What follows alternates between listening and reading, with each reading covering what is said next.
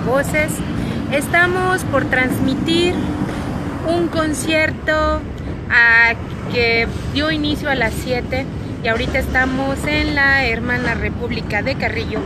Pero déjenme mostrarles que nos encontramos con la bestia. Y pues la bestia viene muy, muy, muy larga, como pueden ver.